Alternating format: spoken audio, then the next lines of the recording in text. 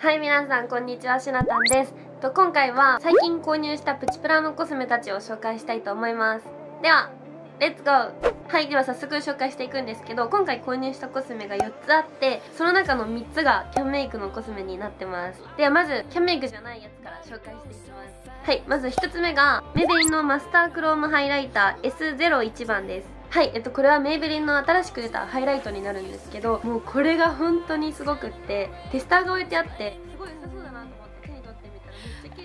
で一回ねどうしようかなって悩んだんですけど最近私この MAC のねミネラライズスキンフィニッシュのライトスカペードこれを買ったばっかであハイライト買ったばっかだと思ってどうしようかなと思って一回やめたんですよ。だけど次行った時にやっぱ欲しいってなってこれを買ってしまいました。ではちょっとスウォッチしていきます。はい開けるとこんな感じになっています。もうすっごい見ただけでもすごいキラキラ感が伝わってくると思うんですけどはい手に出していきます。でこうやって手に取った感じは何て言うんだろうパウダーのハイライトではあると思うんですけどパウダー感があんまりなくて結構しっとりした感じになっています。ではちょっと出してみます。いきますよ。じゃーん。わかりますかね？伝わってるかな？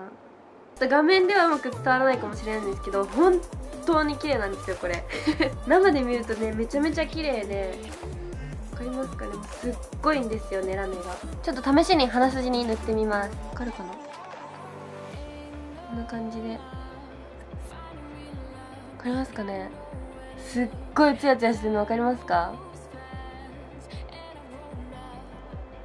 でも本当に少量取っただけで結構キラキラしてしまうのであんまりハイライトを目立たせたくない方はそんなにたくさんは使わない方がいいかなと思うんですけどもうね塗った瞬間からもうツヤがボンとね出る感じで結構主張が激しめな感じなのでハイライトをそんなに目立たせたくない方とかもうちょっとナチュラルなハイライト探してる方はこれはあんまりおすすめできないんですけど何て言うんだろうよく海外のコスメとか海外の YouTuber さんがやってるようなすっごいツヤっとした肌を作りたいっていう方は本当にこのハイライトおすすめだなと思います。ちょっと濃いめのメイクをした時とか顔にメリハリが欲しいっていう方はすごいおすすめできるハイライトかなと思います。でメイベリンから出てる商品なので価格もすごいプチプラでこれが1つ1600円プラス税になっています、まあね、そんなに激安ってわけではないんですけど、まあ、こういうねハイライトをデパコスとかで買うともうちょっとすると思うので、まあ、安く抑えたいなっていう方はぜひこのメイベリンのマスタークロームハイライター使ってみてください。はいであと3つ残ってるんですけどここからは全部キャンメイクの商品になります。まず1つ目がキャンメイクのクイックラッシュカーラー ER01 のクリアホワイトです。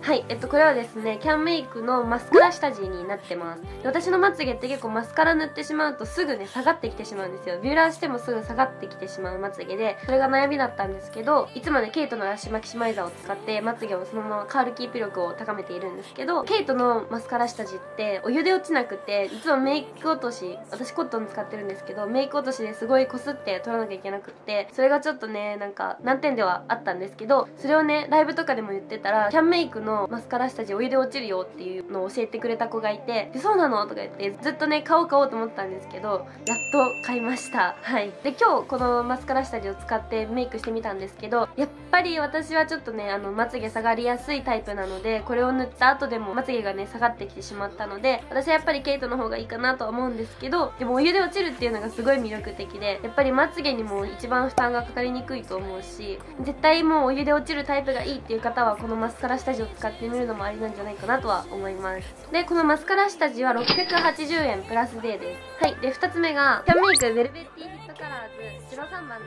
す。はい。えっとこれはねアイシャドウになってるんです。けどシングルのこの色味がねすごい春っぽいなと思って今回買ってきました。ちょっと手に出してみます。ちなみにこれもねこの春の新作らしいんですけど私はね03番をチョイスしたんですけど他にもカラバリが4種類か3種類ぐらいああった気がします。開けてみるとこんな感じでちょっと手首に出していきます。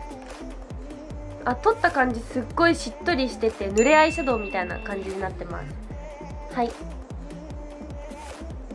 おめっちゃ発色いいですね。はい。手に出してみるとこんな感じです。すごい発色いいですよね。しかも結構見たままの発色でちょっと出したらオレンジ感が強いかなとは思うんですけど割とそのままの発色をしてくれます。今これをね直で手に取った時はすごいしっとりしてて濡れアイシャドウみたいな感じだったんですけどこれをねぼかしていくとすごいサラサラするので嫌なベタつきとかは全然気にならなそうです。こっちではちょっと分かりにくいラメも手に出してみると意外とねラメも出てくれるのですごい綺麗なアイシャドウだなと思います。これをメインのカラーに持ってくるだけで結構春らしいメイクができるんじゃないかなと思います。でこのアイシャドウは1つ550円プラス税です。本当にキャンメイクはねプチプラなのがめちゃめちゃありがたいですね。でラスト3つ目がこちらキャンメイクリップティントマット03番です。これも今年の春の新作らしいんですけどこれは3パターン空張りがあって私は03番を購入してきました。これが650円プラス税になっています。出してみるとこんな感じのチップになっています。ではちょっと手首に出してみます。はい。こんな感じの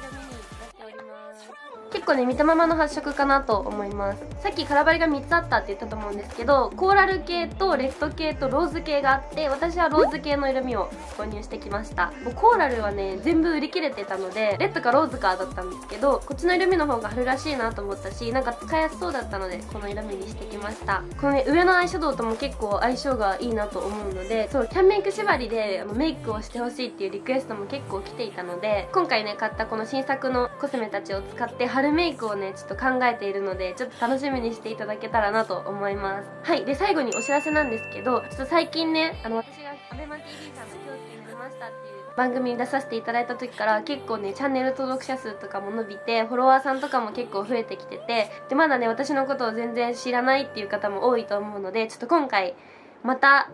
質問コーナー第2弾をやろうと思っています。今回はちょっと Twitter の方でタグ付けで質問を募集しようかなと思うので「ハッシュタグシュナタン」に質問でツイートをしていただけたらなと思うので質問コーナー第2弾はその募集方法でやらせていただきます。はい。というわけで今回はこんな感じで私が最近購入したプチプラのコスメを4つご紹介してみました。少しでもね参考にしていただけたらなと思います。質問もじゃんじゃん受け付けているので ぜひ皆さんツイートしてみてください。では最後まで見てくれてありがとうございました。よかったら高評価とチャンネル登録お待ちしております。ではバイバーイ